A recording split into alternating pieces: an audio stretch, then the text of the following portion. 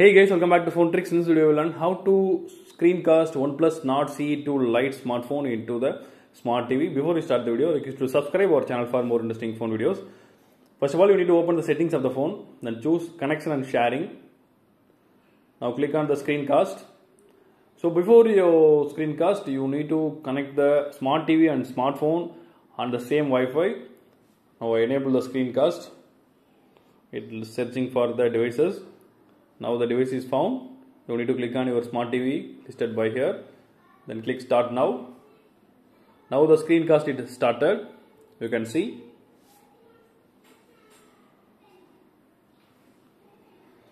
You can view your gallery photos or uh, you can watch videos or even you can play games with your smart TV on the big screen. So it's a very useful feature. So that's all guys. I hope this video is very useful to you. If you like this video, hit thumbs up. See you next video. Bye bye.